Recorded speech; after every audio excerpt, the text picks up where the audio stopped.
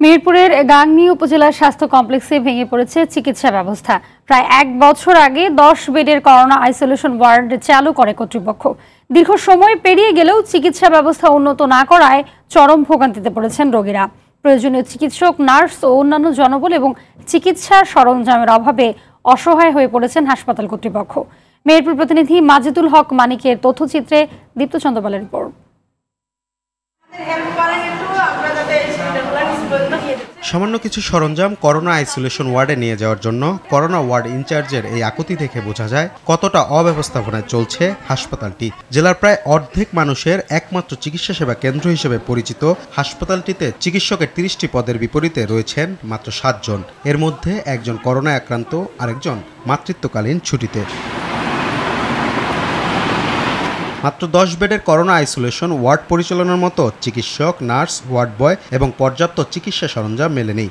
নেই ভেন্টিলেশন ও oxygen plant. আর ব্যক্তিগত নিরাপত্তা সরঞ্জামও নেই পর্যাপ্ত।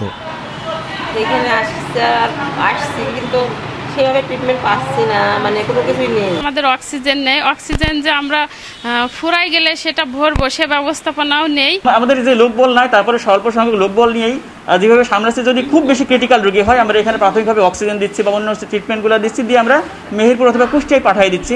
হাসপাতালের জরুরি বিভাগে কর্মরত স্বেচ্ছাসেবকদের দিয়ে অনেকটা জোড়াতালি দিয়ে আইসোলেশন ওয়ার্ড চালু রাখার চেষ্টা কর্তৃপক্ষের। স্বেচ্ছাসেবক হিসাবে আমাদের স্যার উনি আইসোলেশন খুলছে ওইখানে দায়িত্ব দিচ্ছে আমাদের দুজন করে। এক সপ্তাহ এক সপ্তাহ করে ডিউটি করব। প্রয়োজনীয় চিকিৎসক জনবল ও সরঞ্জাম সংকট মাথায় রেখেই সাধ্যমতো সেবা দেওয়ার চেষ্টার কথা জানালেন উপজেলা স্বাস্থ্য ও পরিবার পরিকল্পনা কর্মকর্তা। আরও কিছু চিকিৎসক এবং ওয়ার্ড বয় আয়ার সুইপার এদের যদি প্রোভাইড করা যেত তাহলে আমরা আরেকটু অধিক পরিসরে সেবা দিতে পারতাম। মহামারীর এ সময়ে দ্রুতই সমস্যার সমাধান করে রোগীদের বাঁচাতে এগিয়ে আসবে সংশ্লিষ্টরা এমনটাই প্রত্যাশা এলাকাবাসীর। দীপ্তচন্দ্র পাল আরটিভি